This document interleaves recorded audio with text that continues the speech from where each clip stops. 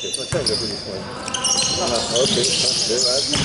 that's good.